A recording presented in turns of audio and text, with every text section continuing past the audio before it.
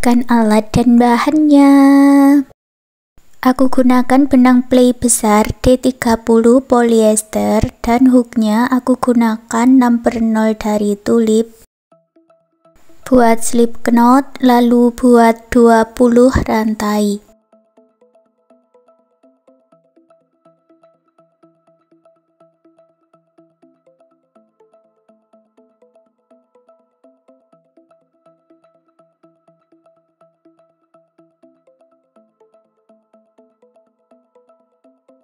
Lewati tiga lubang rantai dari ujung, masuk ke lubang rantai berikutnya, buat dua double crochet di dalam satu lubang.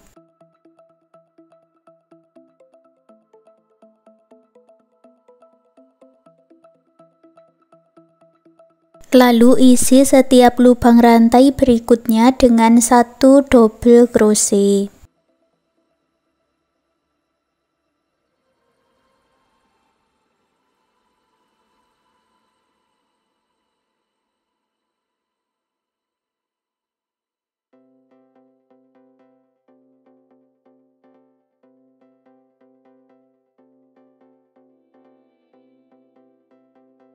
Di lubang rantai paling ujung buat 5 double crochet di dalam satu lubang.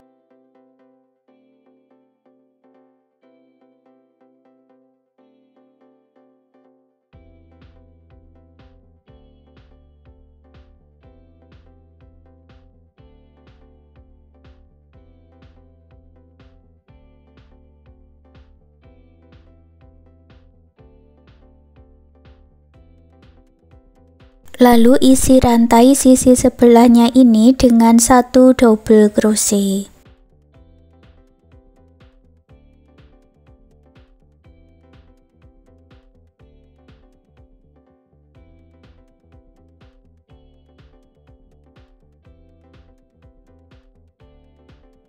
Di lubang rantai yang sama dengan awalannya, tambahkan dua double crochet Lalu gabungkan di tiga rantai yang awal dengan slip stitch.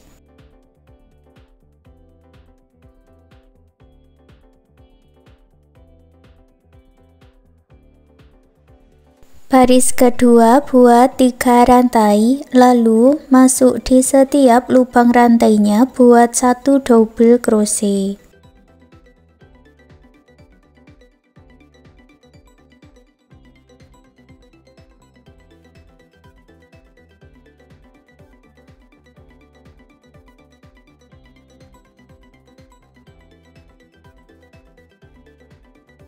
Akhir baris yang kedua satukan dengan slip stitch tapi ambil benang warna lain. Di sini aku pakai warna putih. Diselesaikan seperti ini ya. Baris ketiga kita jalan warna putih buat tiga rantai, lalu buat double crochet di setiap lubang rantai.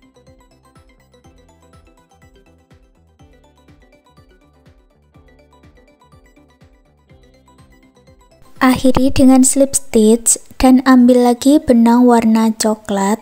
Baris 4 kita jalan dengan yang warna coklat. Buat tiga rantai, lalu satu double crochet di setiap lubang rantainya. Lanjutkan satu putaran, akhiri dengan slip stitch. Untuk baris berikutnya, ulangi membuat satu baris double crochet warna putih, satu baris double crochet warna coklat, sampai mendapat tinggi yang diinginkan.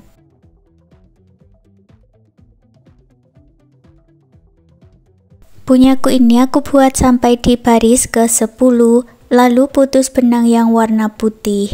Sekarang kita jalan hanya dengan yang warna coklat. Buat satu rantai, lalu buat single crochet di setiap lubang rantai.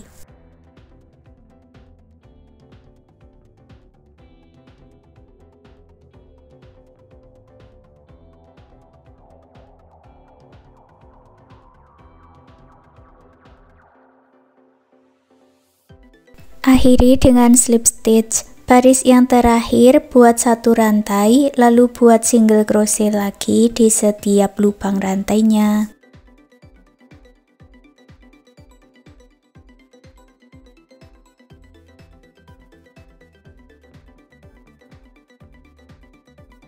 Setelah selesai, akhiri dengan slip stitch dan lanjut membuat bagian talinya. Buat satu rantai, lalu buat dua single crochet.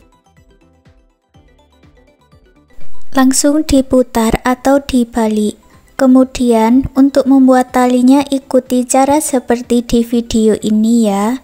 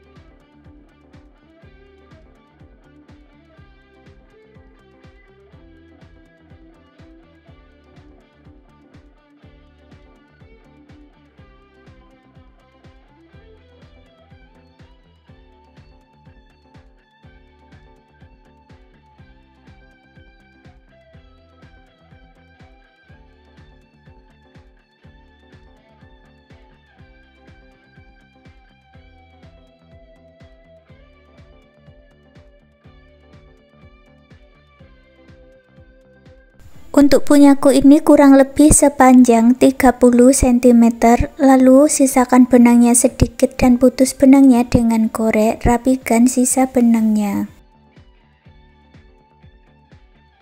Lalu putar bagian tasnya ini ke arah bawah dan hitung dari baris yang paling bawah sebanyak 7 baris dan kita akan masuk di sini ya, di rantai-rantai ini ini yang agak kecil-kecil ini kita masuknya di sini buat slip knot dulu lalu hitung dari baris yang paling bawah sebanyak 7 baris Lalu hitung dari sisi samping sebanyak 7 rantai yang warna putih, kita masuk ke rantai berikutnya di sini.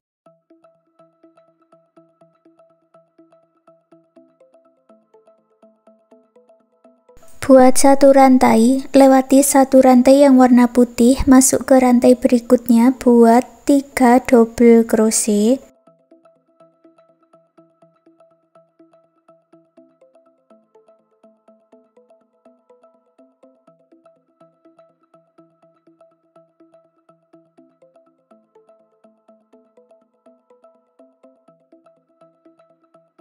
Lalu buat satu rantai Masuk lagi di lubang yang sama, buat 3 double crochet.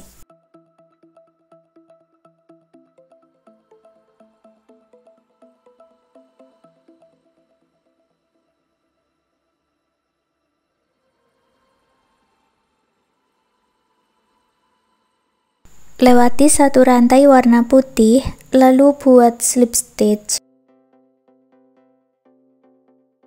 Buat satu rantai dan putus benangnya dengan korek, rapikan sisa benangnya.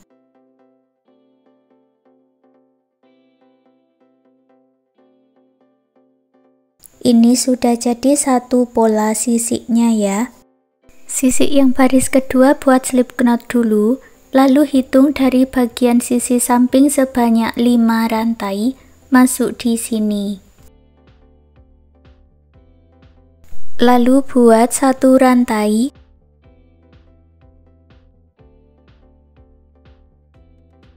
Lewati satu rantai, masuk ke rantai yang berikutnya. Buat tiga double crochet, satu rantai, tiga double crochet.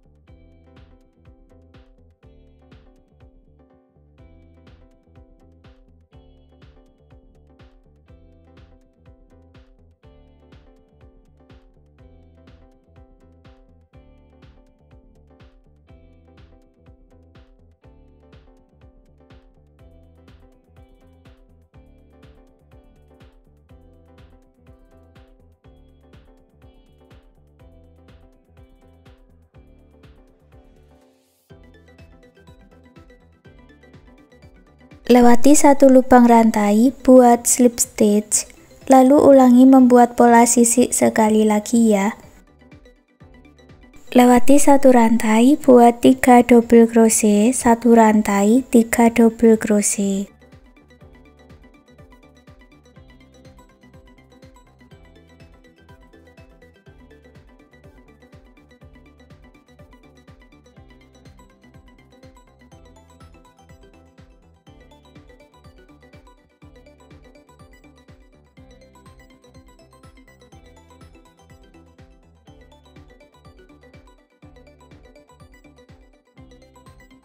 Lewati satu rantai dan buat slip stitch, putus benangnya dengan korek rapikan sisa benangnya.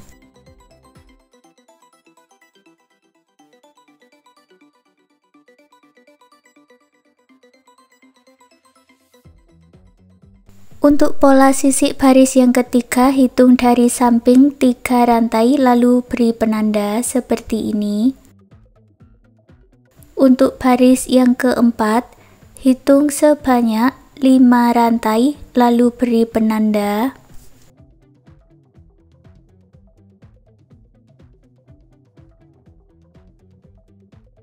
Baris yang kelima hitung dari ujung sebanyak 7 rantai dan beri penanda di rantai yang berikutnya.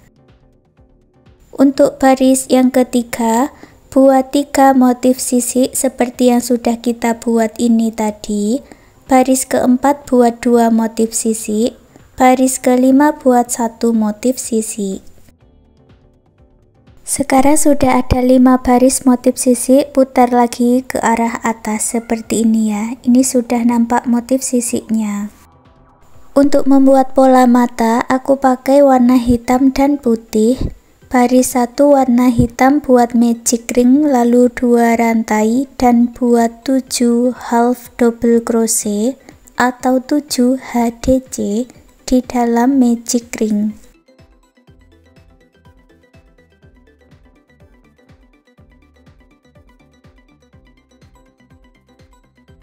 Tarik benang yang pendek dan eratkan, satukan di dua rantai yang awal dengan slip stitch, lalu putus benangnya dengan korek.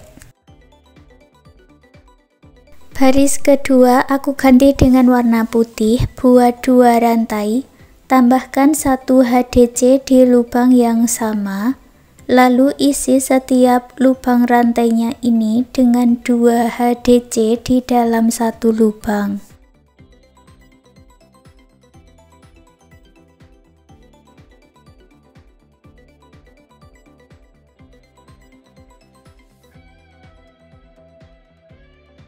Ada 8 kali HDCINC ya. Tambahkan satu kali lagi HDCINC di lubang yang sama dengan awalannya.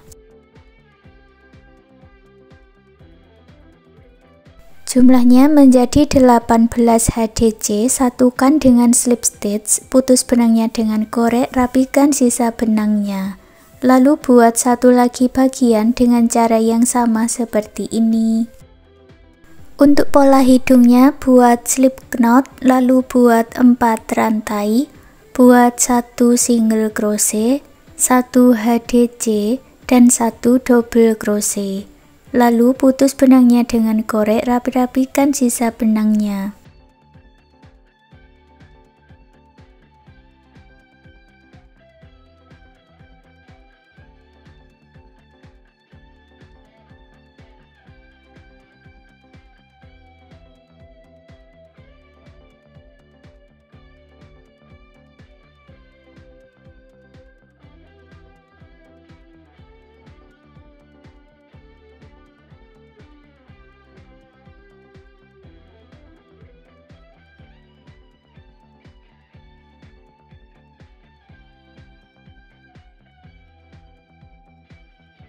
Dan hasilnya seperti ini, sekarang tas rajutannya sudah jadi. Terima kasih sudah mengikuti video ini, semoga suka dan bermanfaat.